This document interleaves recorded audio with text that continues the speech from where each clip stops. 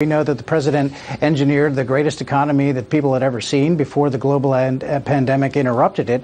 And there's great, great enthusiasm for the president and his policies. And that's what we're seeing now the pent up enthusiasm as we head towards this rally in Tulsa, Oklahoma on Saturday. Over a million ticket requests. And uh, as you mentioned, $14 million raised in just one day on Sunday mm-hmm. for the president's birthday. Fantastic enthusiasm uh, all across the board. We've got an army, and we're going to have 2 million volunteers fanning out across the country, knocking on doors and making okay. phone calls. And uh, over the weekend, we made 3 million volunteer phone calls. And that's something that Joe Biden just can't touch as far as enthusiasm goes. Okay.